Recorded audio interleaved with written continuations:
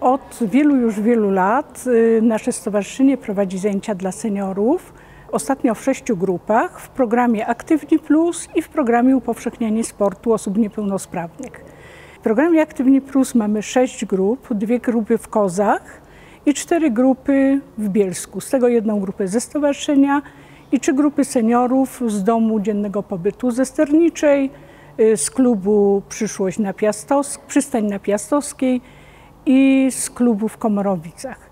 Y, Tutaj w tej chwili są seniorzy y, z Piastowskiej i seniorzy ze Sterniczej i y, raz w tygodniu mamy dla nich zajęcia właśnie sekcji sportowej, czyli praktycznie aktywnych seniorów, dbających o swój y, i wygląd, i zdrowie, i, i gimnastykę, i, i kondycję przede wszystkim. Mamy 260 seniorów, z tego 90% to są osoby niepełnosprawne.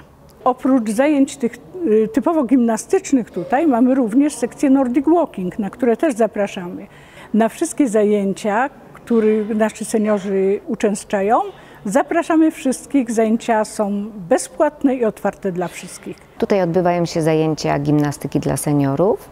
To są specyficzne y, zajęcia, ponieważ musimy uwzględnić ich możliwości, ich predyspozycje, y, to co potrafią i to czego potrzebują w tym momencie i w tym ich stanie zdrowia. Więc gimnastyka jest spokojnym takim etapem rozciągania, rozluźniania i dawania możliwości seniorom uwierzenia też w swoje możliwości.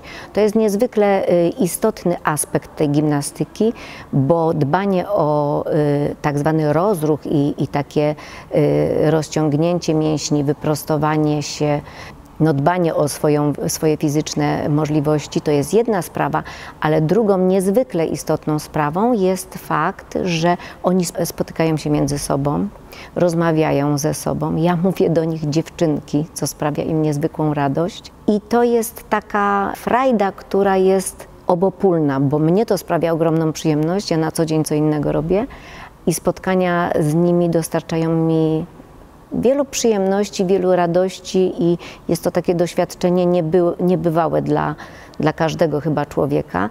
Mamy tutaj panie, które mają 86 lat. Panie, którym neurolog powiedział, a skąd taki humor i taka, taka, takie dobre nastawienie do rzeczywistości? No proszę pana, przecież ja chodzę na gimnastykę.